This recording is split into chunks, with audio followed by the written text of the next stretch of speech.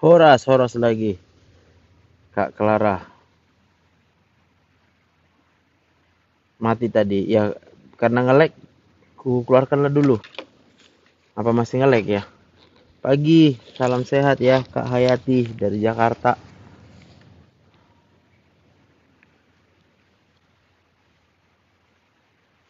Iya.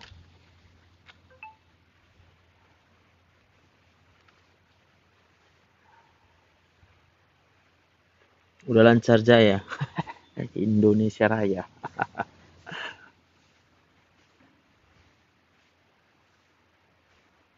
Pagi Kak Borombing, Kak Kristen Shalom dari Timika, Papua.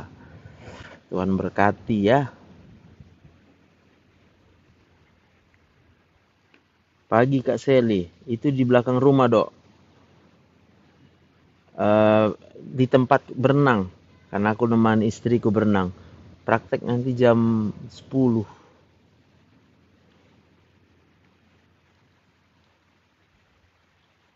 jam 10 ya.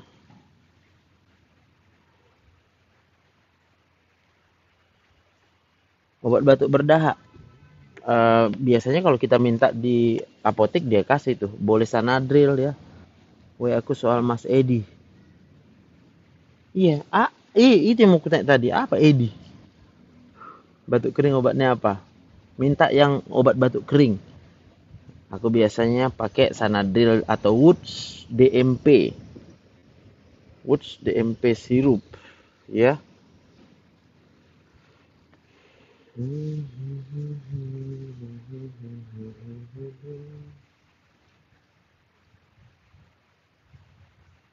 Suka apel untuk asam lambung? Enggak, nggak ada hubungan ya. Kak Vera ya. Dari Natal kemarin masih batuk. Kalau tidur batuknya menggila tenggorokan gatal banget kurang tidur itu coba banyakkan tidurnya banyakkan tidurnya dulu ya kalau nggak cukup tidurnya nggak sembuh dia batuknya mm -mm. Oke, ada yang lagi ketakutan, yang masih takut-takut, merasa cemas, khawatir, yang mau naik live hari ini? Ada nggak hubungannya sakit tulang rusuk kiri kanan dengan mah? Ada. Jadi uh, apa namanya itu ototnya itu jadi tegang. Tapi penyebabnya karena rasa takut, rasa cemas ya, rasa khawatir. Obat oyong dan pusing biasanya aku kasih beta histin. Beta histin.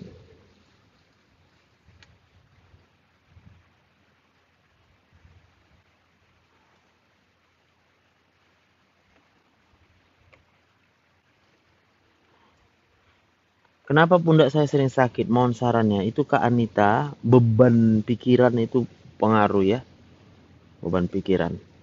Telapak kaki, Kak Mila, ya itu namanya plantar fasciitis.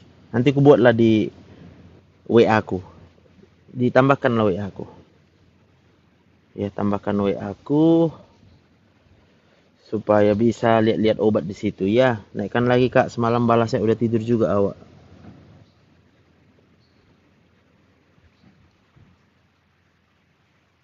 Akhir-akhir saya kok cepat capek ngos-ngosan nggak apa-apa. Berarti memang banyak kerja dikerjakan kan? Tapi kalau bis, mau pasti berobat dulu ke dokter biar tahu dia. Whiskey abdomen ada bengkak di kedua ginjal tapi hasil lab urin Oke, berarti faktor apa yang membuat bengkak? Itu yang diatasi. Termasuk sekarang yang buat gampang bengkak itu kayaknya terlalu banyak minum. Jadi minum air putih nggak boleh terlalu banyak ya diabetes karena saya happy jadi makannya tambah banyak alsa gula aku naik darah dong. Ya itu salah itu prinsipnya itu. Awak kalau happy nggak selera makan. Nengok makanan biasa-biasa aja. Karena sadar makan itu membuat sakit. Kak Leli siap.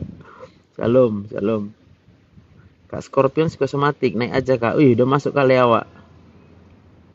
Kalian nanti udah bisa jadi admin dia nih. Mm -mm nafas saya nggak plong nafas saya berat. Telat makan perut suka panas. Kenapa ya dok? Kak Gan banyak sedih ya? Untuk mengatasi sakit tulang rusuk kiri kanan yang nggak ada istirahat aja. Relax. Hmm, tarik napas sambil menarik napasnya. Bersyukur ya kan? Awak sedih dan senang menghilangkan selera makan dok. Nggak apa-apa bagus itu kak mom karena makan ini sumber penyakit nih ini ya kan. GERD psikosomati gimana suka rasa sensasi aneh. Iya memang gitu. Oke. Ada yang mau naik live yang GERD-GERD biar lebih seru pembicaraannya jadi biar ketemu. Nanti yang lain sambil dengar ya. Sering anxiety dan overthinking. Pengaruh ke aslam apa perlu ke psikiater? Kalau ditanya sama aku belum perlu kita harus mengubah dulu mindset ya kan? Dok rupanya penyebab sering sendawa suamiku rupanya karena ada batu empedunya selain aslamnya juga. Oke bisa aja bisa saja ya. Tapi artinya kalau batu empedu itu hanya di dalam kantong empedu nggak ada gejalanya kak Iren. Jadi itu sugesti ya. Nah nanti itu terbukti. Terbukti dari apa? Dioperasi misalnya ya dioperasi lalu diambil batu empedunya biasanya tetap sakit. Kalau memang tetap banyak pikirannya. Gitu. Oke okay, yang mau naik ya? Kak Scorpion.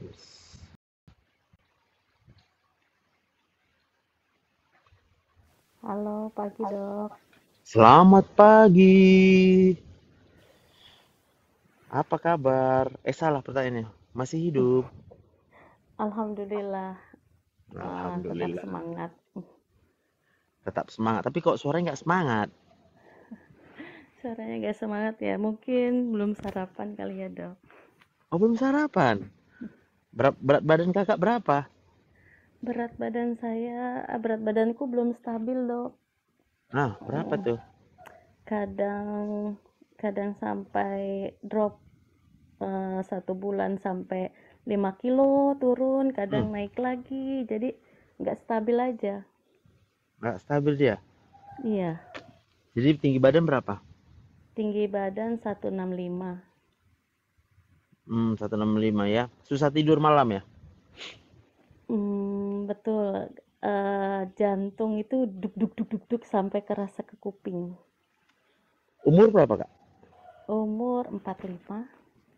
45 ya? Iya, betul. Uh, sering kepanasan, berkeringat? Enggak. Cuma Enggak ada kepanasan aja, ya? Mm -mm. Hmm. Kalau ada suara-suara terus kalau ada orang yang datang gitu aku takut kayak apa ya malaikat jemput aku gitu. Emang nggak boleh? Aku sekarang sejak 2020 sampai sekarang lebih suka menyendiri. Kerja Iyalah. aku berhenti. Aku Kenapa? kerja berhenti. Aku takut sama orang. Takut takut diambil nyawa kakak? Iya betul. Takut emangnya yang bisa ngambil nyawa siapa Aku takut mati. Iya, awak paham lah. Memang itu masalah kakak takut mati. Hmm. Uh -uh. Yang pertama takut mati itu kan artinya bodoh. Hmm. Lawak masih hidup tapi awak takut mati. Coba. iya, awal awal awal aku ke awal aku ke dokter penyakit dalam, aku mm -mm. kan apa ya sesak napas itu dispensia apa ya? Apa dok tuh? Dis dispepsia ya? Itu. Terus hmm. uh, lama-lama kok aku setiap ketemu dokter aku kok aku takut gitu ya. 2020 hmm. ya dok itu ya. Aku cerita yeah. gitu ya. Aku hmm. takut aku nangis. Aku bilang dok aku takut sama dokter. Dokter tuh kayak malaikat. Dokter itu mau cabut aku ya. Aku bilang dokter itu mau cabut nyawaku ya. Dokternya tuh malah ketawa aja. Gak usah takut katanya. Gak usah takut mbak katanya gitu kan zaman zamannya hmm. corona ya dok ya iya iya iya iya benar iya akhirnya didiagnosa aku asam lambung egret, psikomatis dan aksenti. Jadi obatnya itu aku dikasih obat penenang. Hmm. Darah pun darah 150 per 100. Hmm. Sampai satu bulan aku nggak bisa buang air besar dok. Yuk, satu bulan. semua ya. Soalnya apa? Kan di USG, tapi nggak ada apa? Aku nggak ngerti, nggak ada masa, nggak ada apa karena aku nggak ada yang dimakan. Aku takut. Hmm, -hmm. maam maam maam aku takut pokoknya ketemu orang pun takut sekarang pun mm, kalau aku punya masalah aku jadi kayak panik ngedrek-dek gitu dok maaf ya dok aku suka buka baju Ngapain?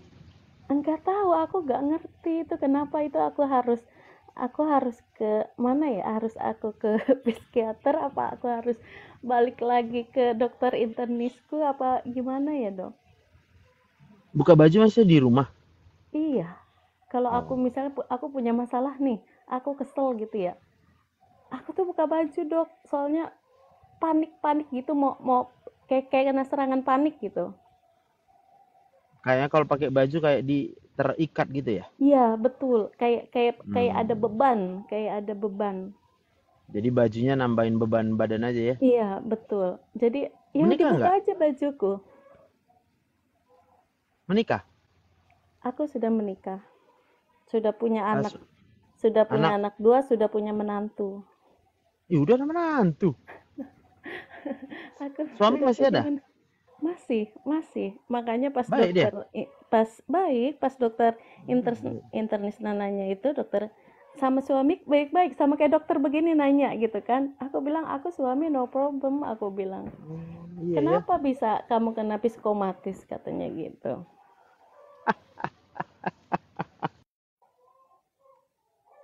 Bagus pertanyaan ini. Kenapa bisa kena psikosomatik? Jadi gini, psikosomatik itu pilihan. Kakak yang menentukan. Masing-masing kita menentukan. Apakah kita mau ikhlas atau enggak dengan hidup ini? Coba aku tanya, kakak mau ikhlas? ikhlas itu sulit ya dok ya Aku nggak bilang mudah, Hmm, tapi aku betul. tanya, maukah ikhlas? Bismillah, insya Allah dok. Kalau kakak jawab insya Allah, berarti terserah sama Tuhan. Berarti Kadang keputusannya itu iya. dari Tuhan. Ini yang ditanya adalah diri kakak. Contoh gini, hmm, coba kakak tepuk tangan. Sekarang dok, Oh, itu lagi pagi pegang HP ya? nggak bisa kok ditaruh. Kalau oh ini aja, coba jentikkan jari. Nah gitu. Sudah dok, Nah bisa kan? bisa, Bisa kan? bisa. Nah, kok mau kakak disuruh jentikkan jari? Karena ada yang suruh, karena dokter suruh aku. Nah udah, sekarang kalau aku yang suruh kakak ikhlas, mau ikhlas. Ikhlas itu susah dok. Kenapa nggak mau? Kenapa ya? Aduh sulit, sulit dijelaskan. Apa karena kakak nggak sadar? Sadar nggak nih? Aku, aku sih sadar. Kalau sekarang aku sadar. Sadar. Kakak Mm-mm. masih hidup kan? Mm-mm. Kenapa kakak masih hidup? Hmm, ya karena apa ya? Ya karena aku masih dikasih nyawa oleh oleh Tuhanku. Siapa yang punya nyawa kakak? Tuhanku. Jadi kalau dia stop boleh? Aku nggak mau untuk saat ini. Yang yang menentukan mau nggak mau siapa? Tuhanku, Jadi kakak siapa? umatnya, Jadi kalau umatnya boleh atur-atur Tuhannya. nggak boleh. Jadi kakak mau atur hidup kakak, mati kakak menurut kakak atau menurut Tuhan? Menurut Tuhanku, Jadi kenapa kakak nggak mau ikhlas? aku harus. aku juga. Ah dokter, aku jadi nangis. Ya nangis lah. Aku, aku tuh aw- awal kena asam lambung tuh, eh, aku tuh susah punya anak ya dok. Hmm, Aku susah, aku susah punya anak. eh anakku kan menikah. Anakku menikah punya anak. Punya anak lahirlah eh, babynya perempuan itu aku Mm-mm. ambil aku yang urus 10 bulan Hmm. kemudian meninggal itulah awal aku kena lambung Oh, iya. Ya berarti kakak nggak pernah terima dengan yang meninggal kan? betul sampai Sa- sampai Seakan-akan kakak itu ini wakil wakil Tuhan lah ya. Kok nggak, kok Tuhan nggak nanya saya ya, gitu ya? sampai sampai sampai saat ini aku kayaknya kata orang ikhlas ikhlas orang tuh gampang ikhlas itu kok ngomong ikhlas tapi kan aku yang jalanin gitu Iya, kakak jalani sebagai orang yang nggak tahu diri.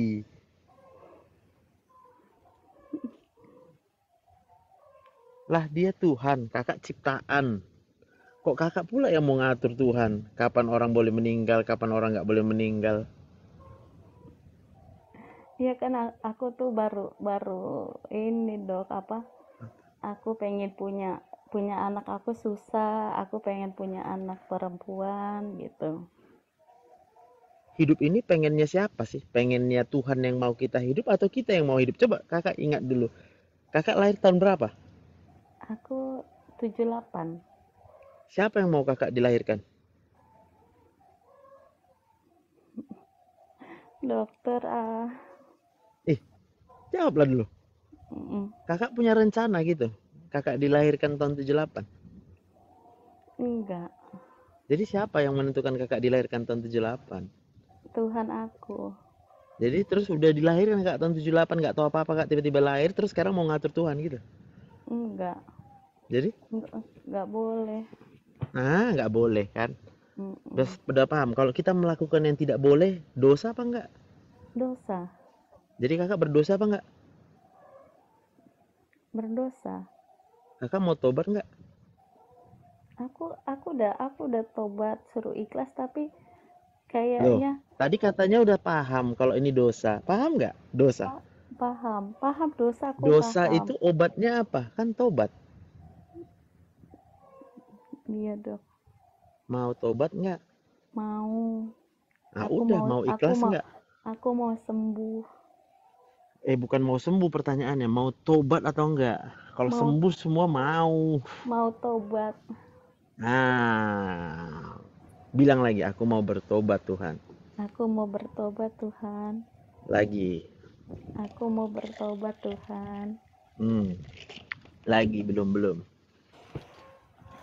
aku mau nangis Ya nangislah memang. Hmm, aku mau bertobat ya Allah aku mau bertobat Sampai sadar apa dosanya. dosanya aku nggak ikhlas Ah, bagus. Mau bertobat nggak? mau Hmm, mau ikhlas. mau Hmm, Mau takut mati lagi. aku kalau ada orang itu takut takut kayak malaikat itu jemput jemput aku gitu Iya, itu sensasi orang yang takut mati. Tapi aku kalau bobo itu jantung tuh jantung tuh kedengeran tuh sampai kuping aku minum obat apa tuh baru aku enak bobo Iya, itu karena masih takut mati. aku takut aku aku kalau ke rumah sakit besar tensiku tensiku tinggi tapi kalau aku berobat di klinik normal itu kenapa itu dok Heeh, karena takut mati.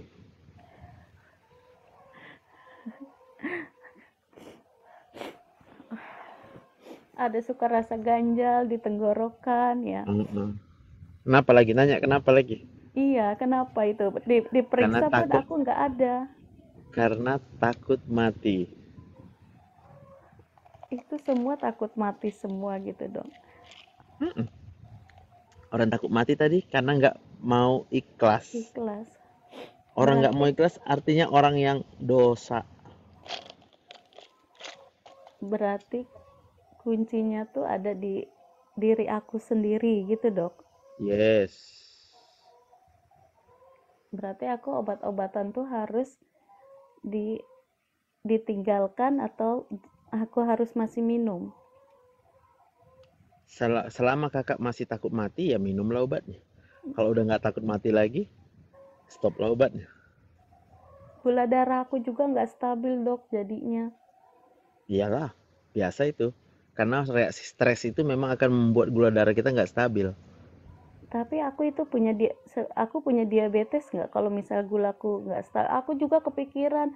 Makanya aku tuh sering sering ngedrek-dek tanganku gitu kalau aku periksa uh, Iya, sampai in, intinya mm -mm, mm -mm. rasa takut mati itu akan membuat kakak mikir semua. Iya betul, Gula betul. dipikirin, Mm -mm. Darah makanan dipikirin, dipikirin, iya, darah betul dipikirin, gak ada yang kakak pikirin. Tapi semuanya berhubungan dengan diri kakak sendiri. Orang yang mikirnya cuma diri sendiri sama dengan egois. Iya bener dok, bener dok. Berarti kakak dosanya bukan hanya sama Tuhan, sama sesama juga kakak dosa. Nggak pernah mikirin orang lain. Iya bener, A- aku mikirin, aku mikirin diri sendiri, betul dok. Aku, Iya, aku Tapi nggak mau bertobat. aku mau bertobat dok. Nah udah, kalau udah mau bilang mau bertobat, bertobatlah. Jangan bohong-bohong aja. Enggak bener dok, aku mau. Nah, masih mau nanya lagi, kenapa ini, kenapa itu? Sebenarnya capek dok, hidup hidup begini tuh. Ya iya yang buat hidup gini ya emang siapa? Emangnya kami yang buat?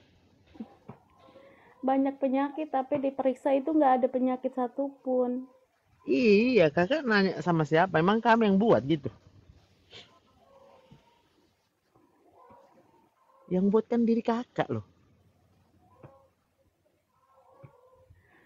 Diri aku sendiri ya. Iya. Mau bertobat? Mau, aku mau bertobat. Jangan bohong. Beneran dok, Mm-mm. Benar ya? bener. Nggak takut lagi mati? Bismillah, nggak takut. Heeh, itulah. Udah ikhlas. Aku aku pengen sembuh, berarti aku harus ikhlas. Jangan. Jangan. Kalau soal sembuh ya, Mm-mm. aku mau bilang gini tuh. Itu juga hak dari yang maha kuasa.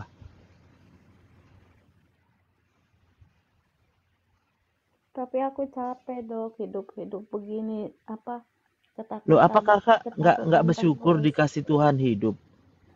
Itulah makanya yang sering suamiku bilang, aku tuh aku tuh nggak bersyukur katanya gitu. Itulah Ya, makanya aku kakak nggak pernah menjawab pertanyaan yang ku, ku kasih. Apakah kakak tidak bersyukur kalau kakak masih diberikan hidup sama Tuhan? harus bersyukur. Ya udah. Eh tunggu kok harus bersyukur? Kakak yang kutanya kok bilangnya harus. Bersyukur, bersyukur, Nah, bersyukur. boleh bilang capek. Nggak boleh. Ah sudah, mau bertobat. Mau, aku mau bertobat dong. Iya, semua perkataan kakak itu adalah bagian dari kesalahan kakak. Bilang capek, bilang nggak mau mati, bilang sensasi ini, sensasi itu, ya, Ya aku ya mau kan? bertobat dong. Dan dan pandanglah kematian itu sebagai hal yang normal. Normal nggak meninggal? Normal. Ya, Manusia mana ada orang yang hidup nggak iya, meninggal, ya kan? iya betul. Harus Nah, yang nggak normal itu adalah ketika sesuatu yang normal tapi kita takuti.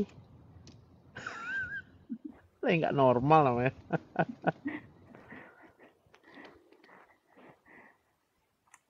aku kalau Bisa ya? kalau udah kalau udah kayaknya pengennya teriak gitu dong. Mau teriak sama siapa?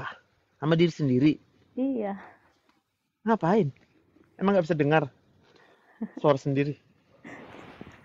Aku pengen teriak. Pokoknya aku kalau kena serangan panik tuh apa yang ada di melekat di badanku tuh aku buka-bukain gitu. Oke, lihat ya. Kalau Hmm. kakak serang, kena serangan panik ya, Mm-mm. langsung aja yang pertama minta ampun sama Tuhan. Mm-mm. Yang kedua minta maaf sama suami, sama anak, sama menantu, Mm-mm. sama orang-orang di sekitar kakak minta maaf lah. Biarpun kita nggak punya salah gitu dok. Sombong banget bilang nggak punya salah. Ya, Dari tadi udah dinyatakan kesalahan kok kok masih mengeyel nggak tahu salahnya. berarti salah aku ah, nih, Dok. Berarti salah aku tuh aku egois, mementingkan diri sendiri gitu Iya, ya. Iya, iya aku iya. aku sadar, Dok. Ah, catat itu, jangan Iya, lupa. iya sadar aku, Dok.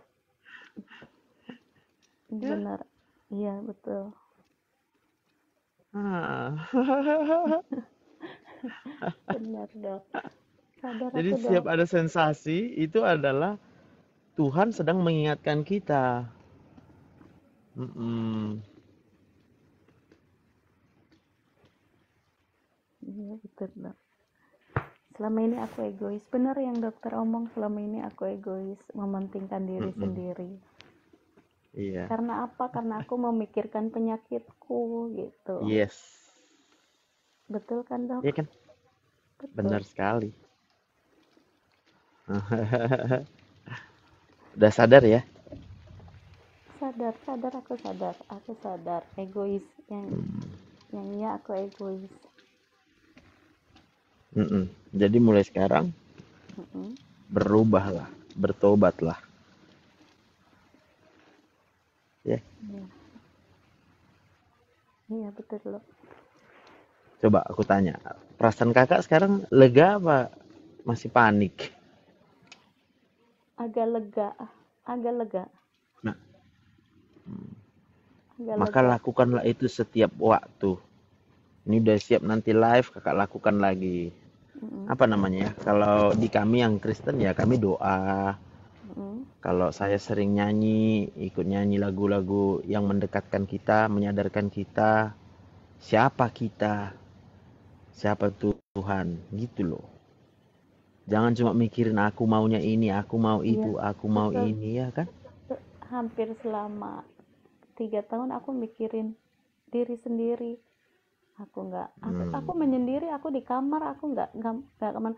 Aku mau nyalahin kompor pun aku takut dok. Apa yang aku lakukan aku takut. Yes, pas sekali. Ah.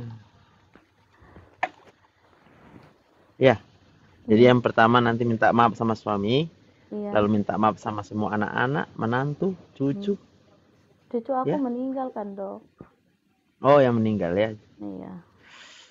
Berarti Aku minta pengen, maaf sama aku, Tuhan. aku pengen, aku pengen punya anak, tapi di umur 30 tahun tuh aku sudah steril. Di 31 tahun steril di anak kedua. Karena aku setiap Oh, hamil tuh eh, bermasalah terus. Oke, oke, oke, oke, oke, oke. Ya udah, nggak apa-apa, nggak apa-apa. Ikhlas aja. Hmm, ya itulah harus harus ikhlas bener dok ya. Ikhlas, ikhlas, ikhlas.